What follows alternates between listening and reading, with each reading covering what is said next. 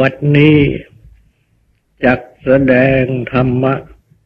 เป็นเครื่องอบรม ในการปฏิบัติ อบรมจิต ในเบื้องต้น ก็ขอให้ทุกทุกท่าน ตั้งใจ นอบน้อมนมัสการพระภูมิพระภาค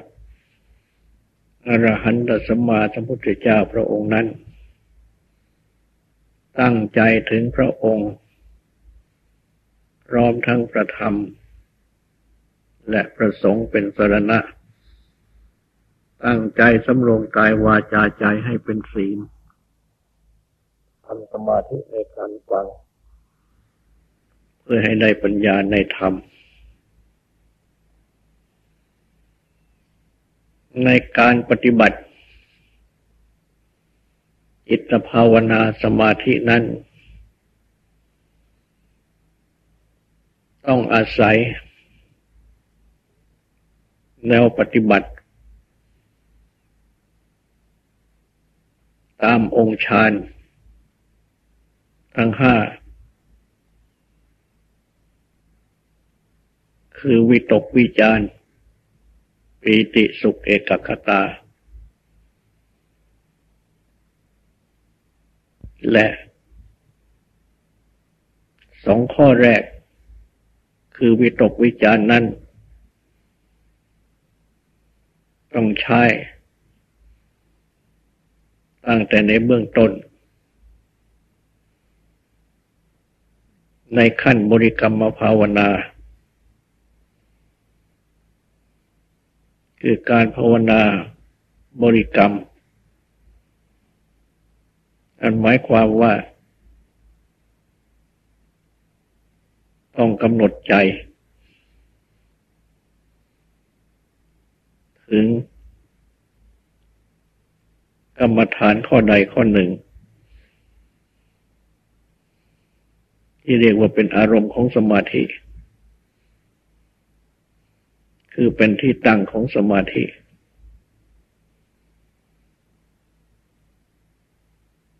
การยกจิต ขึ้นสู่กรรมฐาน หรืออารมณ์ของสมาธิ เรียกว่าวิตก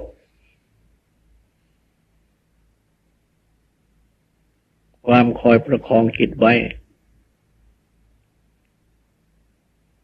ให้อยู่ในกรรมฐาน หรืออารมณ์ของสมาธิเรียกว่าวิจารณ์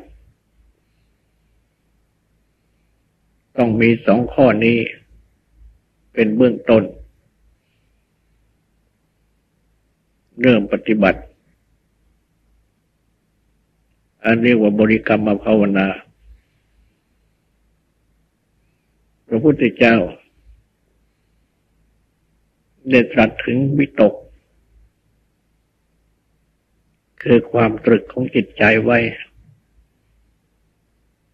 เป็นอันมาก เพราะ วิตกทั่วไปนั่น ก็คือความตรึกนึกคิด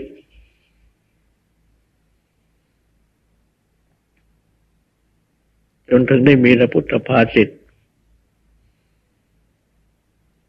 รัสตอบปัญหา ที่มานพผู้หนึ่งได้กราบทูลถาม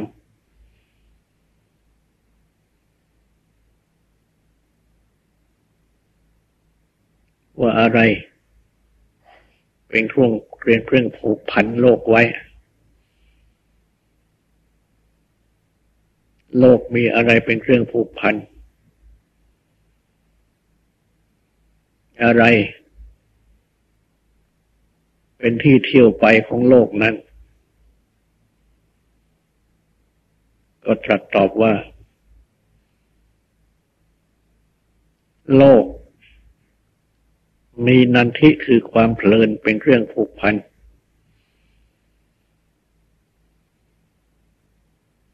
อันนันทิคือความเพลิน ย่อมผูกพันโลกไว้ และวิตกคือความตรึกนึกคิด เป็นที่เที่ยวไปของโลกนั้น ซึ่งโลก ก็หมายถึงสัตวโลก มนุษย์ก็เป็นสัตวโลกจำพวกหนึ่ง เพราะฉะนั้น จึงกล่าวได้ว่า คนเราทุกๆคนโดยปกติสามัญนนั้นย่อมมีนันทิคือความเพลินเป็นเรื่องผูกพันไว้ และคนเรานั้นย่อมมีวิตกคือความตึกนึกคิดเป็นที่เที่ยวไป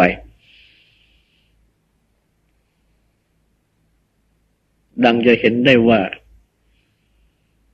จิตใจนี้ ของทุกๆคนย่อมผูกพันอยู่ด้วยความเพลิน ในอารมณ์นั้น ๆ ในเรื่องนั้น ๆ ในสิ่งนั้น ๆ และจิตใจนี้ ย่อมเที่ยวไปโน่นเที่ยวไปนี่คือวิตกคือความตรึกนึกคิด คือคิดไปนั่นเอง ตัวความคิด คือวิตก จึงเป็นที่เที่ยวไปของโลก คือสัตวโลก โดยตรงคือของจิตนี้เอง พระพุทธเจ้า จึงได้ตรัสสอนให้ปฏิบัติ เกี่ยวกับวิตกคือความคิดของใจ จิต ของทุกคน ว่าพระองค์เอง เมื่อ ยังทรงเป็นพระโพธิสัตว์ ยังไม่ได้ตรัสรู้ ทรงปฏิบัติแสวงหาความตรัสรู้ได้ทรงปฏิบัติ ด้วย การกระทำวิตก คือความตรึกนึกคิดของพระองค์เอง ให้เป็นสองส่วน คือ ให้เป็นอกุศลวิตก ความตึกนึกคิดที่เป็นอกุศล ส่วนหนึ่ง ให้เป็นกุศลวิตก คือความตรึกนึกคิด ที่เป็นกุศลอีกส่วนหนึ่ง คือพระองค์ ได้ ทรง ตั้งความเพียรเป็นภูมิไม่ประมาทคือไม่เดินเล่อเพลิดเพลินมัวเมามี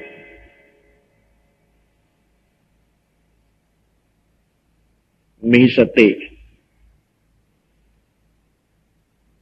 กำหนดดู วิตกคือความคิดของพระองค์ ที่เป็นไปอยู่ เมื่ออกุศลวิตก คือความตรึกนึกคิดที่เป็นอกุศลข้อใดข้อหนึ่งมันเกิดขึ้น ก็ทรงรู้ คือเมื่อกามวิตก ความตรึกนึกคิดไปในกาม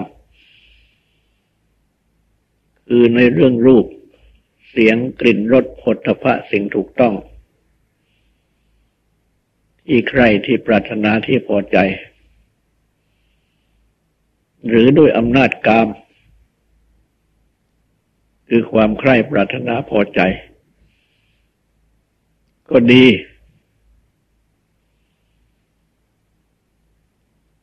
ความตรึกนึกคิด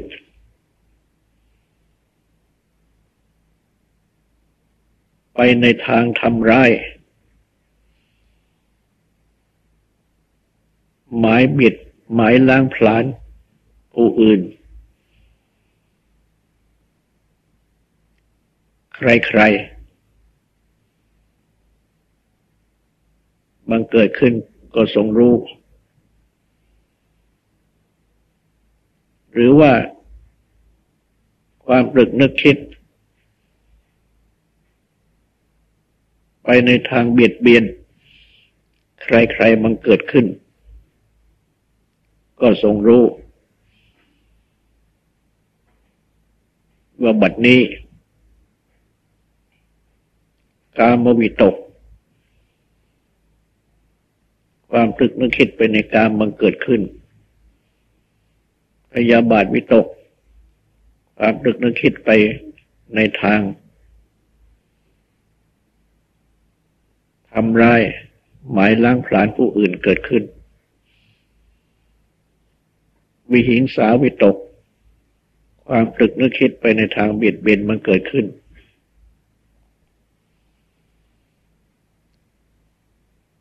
ความตรึกนึกคิด ข้อใดข้อหนึ่งเหล่านี้ ทั้งหมด เป็นอกุศล มีโทษ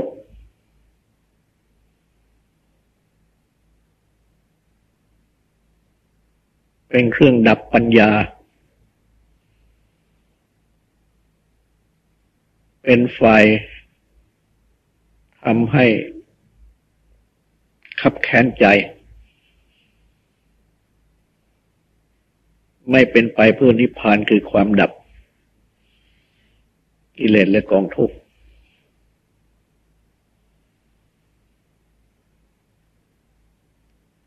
เมื่อทรงพิจารณารู้จักดังนี้ วิตกอกุศล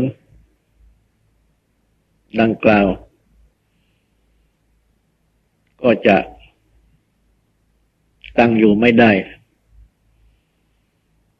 ต้องดับไป สงบไป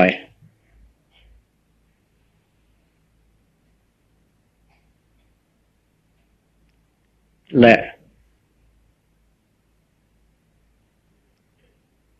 เมื่อวิตกคือความตรึกนึกคิดที่ตรงกันข้าม คือที่เป็นกุศลบังเกิดขึ้น ก็ทรงรู้ คือเมื่อความตรึกนึกคิด ไปในทางออก จากกามบังเกิดขึ้น ไม่ติดอยู่ในกามบังเกิดขึ้น ก็ทรงรู้ว่านี่คือเนคขมวิตก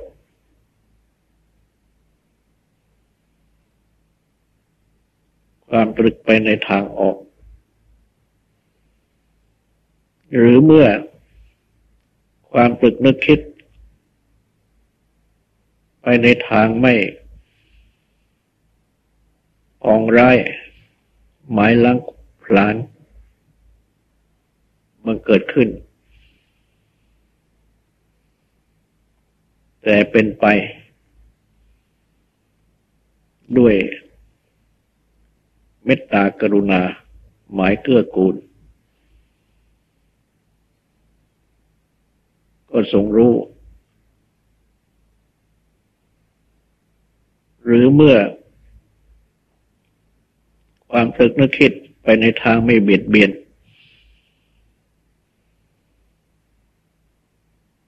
แต่เป็นไปในทาง ช่วยสงเคราะห์อนุเคราะห์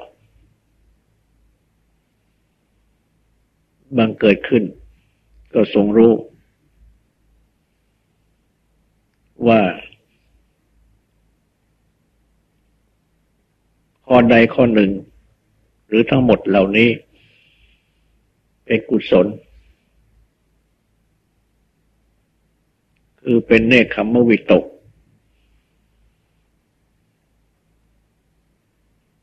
ความตรึกนึกคิดไปในทางออกจากกาม อัพยาบาทวิตก ความตรึกนึกคิดไปในทาง ไม่พยาบาทอองร้ายหมายลังพลานอวิหิงสาวิตก ความตรึกนึกคิดไปในทางไม่เบียดเบียนและก็ทรงทราบ โดยการพิจารณาว่า กุศลวิตกเหล่านี้เป็นกุศล มีอานิสงส์คือมีคุณ ไม่มีโทษ เป็นเครื่องเจริญปัญญา ไม่เป็นฝักฝ่ายที่ทำให้ขับแค้น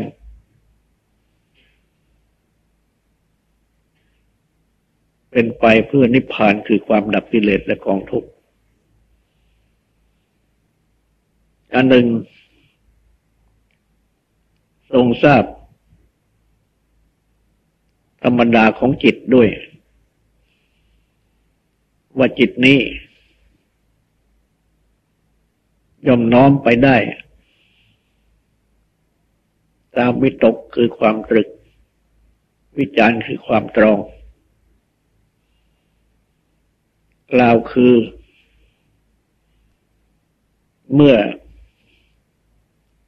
ตรึกตรองไปมาก ๆ บ่อย ๆ ด้วยอกุศลวิตก คือเป็นกามวิตกบ้างพยาบาทวิตกบ้าง วิหิงสาวิตกบ้าง จิตก็ย่อมน้อมไป ในอกุศลวิตกเหล่านี้มาก ย่อม ไม่น้อมไป ในฝ่ายตรงกันข้ามคือฝ่ายกุศล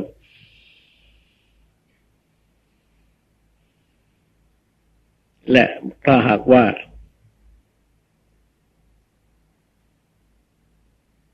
ตรึกตรองไปในทางกุศลมาก คือในทางเนคขมวิตก อัพยาบาทวิตก อวิหิงสาวิตก จิตก็น้อมไปมาก ในกุศลทั้งหลาย เพราะฉะนั้นวิตก วิจารคือความตรึกความตรองของจิตนี้จึงเป็นปัจจัยสำคัญ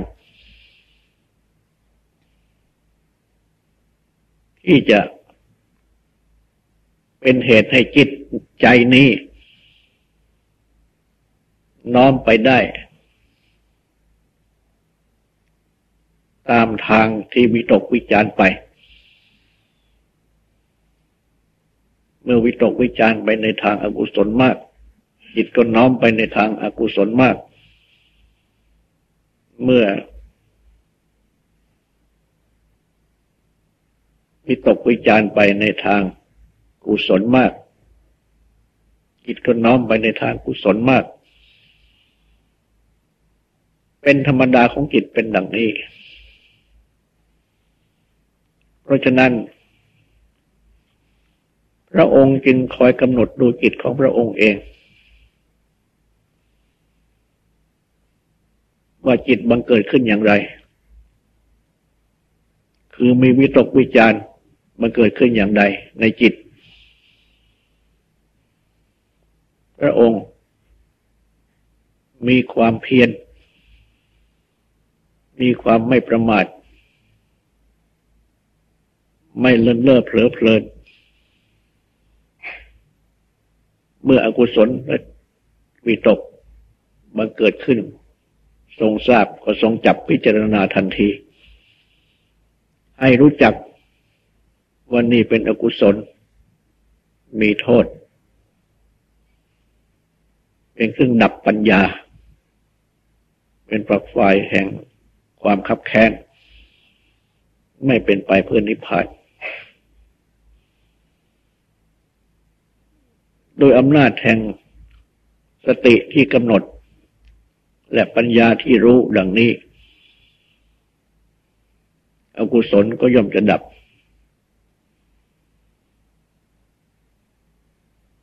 และเมื่อ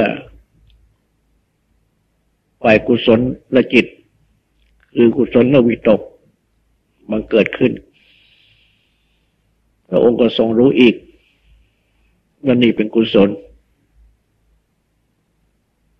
มีคุณ เจริญปัญญา ไม่เป็นฝักใฝ่ความขับแค้น เป็นไปเพื่อนิพพาน คือความหลับกิเลสและกองทุกข์และเมื่อทรงรู้ดังนี้ วิตกฝ่ายกุศลนั้นก็ย่อมจะตั้งอยู่ และย่อมจะเจริญยิ่งขึ้น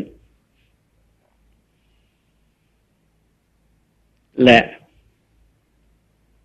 ได้ทรงทราบ ความเป็นไปของจิต ในขณะที่ประกอบด้วยอกุศลวิตก กับความเป็นไปของจิต ในขณะที่ประกอบด้วยกุศลวิตกว่าแตกต่างกัน และการปฏิบัติ ก็แตกต่างกัน คือในขณะที่ จิต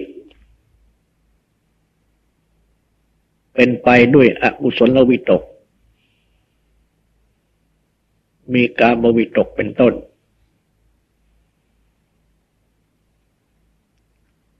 การปฏิบัติ ในการสำรวมระวังจิตข่มจิต จะต้องมีมาก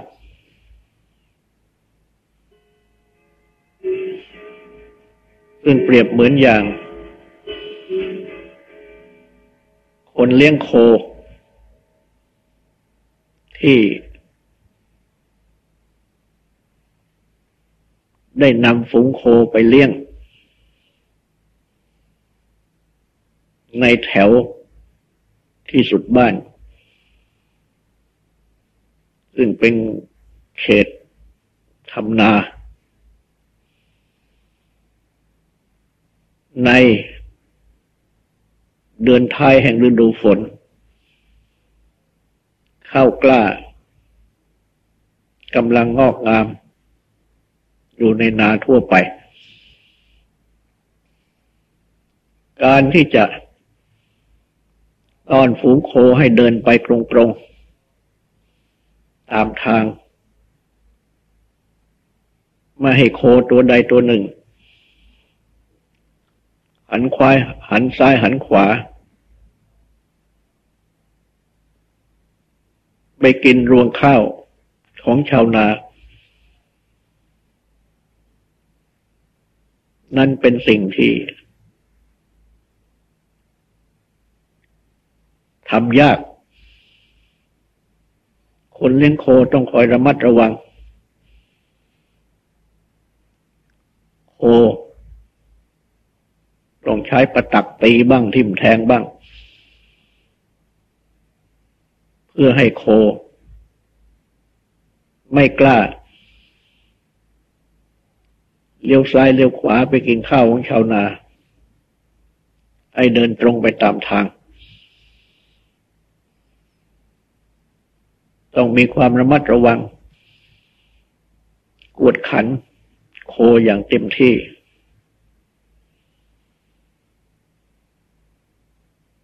จึงจะนำโคให้เดิน ไป โดยไม่แวะซ้ายขวา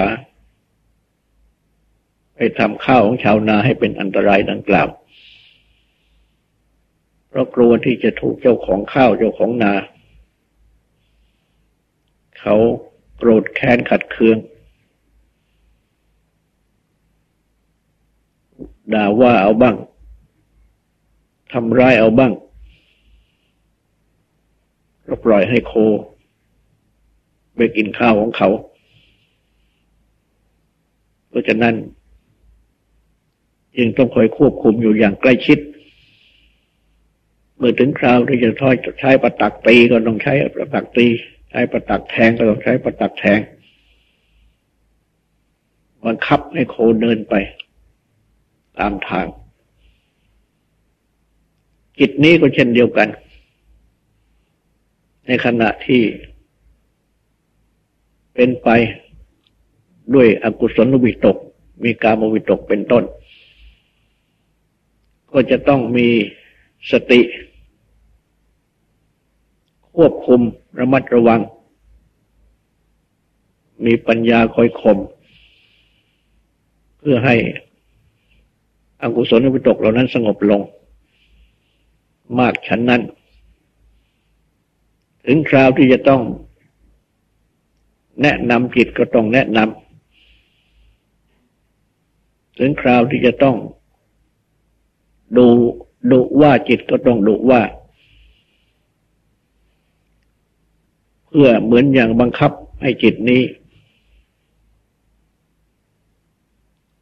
สละอกุศลวิตกเหล่านั้น และดำเนินไปตรงทาง แห่งสมาธิที่ต้องการ เพราะฉะนั้น การปฏิบัติควบคุมจิตระงับจิต ในขณะที่จิต เป็นไปกับริกามวิตกเป็นต้น จึงเป็นของทำยาก แต่เมื่อมีความเพียรทำจริง มีความไม่ประมาท ไม่ละเลิศเพลิดเพลิน คือไม่มีนันที่คือความเพลินผูกเอาไว้ ต้องพยายามละนันที่คือความเพลิน ซึ่งเป็นเครื่องผูกใจเอาไว้ เสียด้วย จึงจะทำให้กามวิตกเป็นต้นนั้นสงบลงได้ ละเสียได้ แต่ว่าเมื่อสามารถวิตกคือตรึก นึกคิดไปในกุศล ที่ตรงกันข้าม เป็นเนคขมวิตก เป็นต้นได้แล้ว อิดน้อมมา ในทางกุศล ได้แล้วอิดก็จะมีความสงบ และดำเนินไปตรงต่อสมาธิได้ดี การที่จะต้องควบคุมจิต อย่างเข้มงวด ก็ลดลง จะปฏิบัติสบายเข้าจึงเปรียบเหมือนอย่างว่า ชาวนาที่นำโคไปเลี้ยง แนวแถวที่สุดบ้าน ซึ่งเป็นที่นาของชาวบ้าน ในเดือนท้ายแห่งฤดูร้อน ยังไม่ใช่เป็นฤดูเพาะปลูกไถหวาน ก็ปล่อยให้โค เที่ยวกินหญ้าไปตาม ที่เหล่านั้น ส่วนคนเลี้ยงโคเองนั้น ก็นั่งพักนอนพัก อยู่ที่โคนไม้บ้าง ในที่แจ้งบ้าง ไม่ต้องคอยติดตามโคอย่างใกล้ชิด ไม่ต้องใช้ การตีการแทงโคด้วยประตัก เพราะว่า โคก็กินแต่หญ้าไปตามเรื่อง ไม่ไม่มี ข้าวอยู่ในนาของชาวบ้านที่โคจะไปกินของเขาทำให้เขาเสียหาย คนเลี้ยงโคจึงปล่อยโคให้กินหญ้าอยู่ตามสบาย ตัวเองก็นอน หรือนั่งใต้ต้นไม้หรือในที่แจ้ง คอยดูแต่เพียงว่าโคอยู่ที่นั่น ท่านั้น จิตที่น้อมมาได้ ในกุศลวิตก แล้วก็เช่นเดียวกัน ก็ปล่อยจิตให้ตรึกไปในกุศลได้ และตัวจิตเองนั่นก็ พักอยู่ เหมือนอย่างคนเลี้ยงโคนนั่งพักนอนพักอยู่ใต้ต้นไม้หรือในที่แจ้งนั้น เพียงแต่ทำความรู้ว่า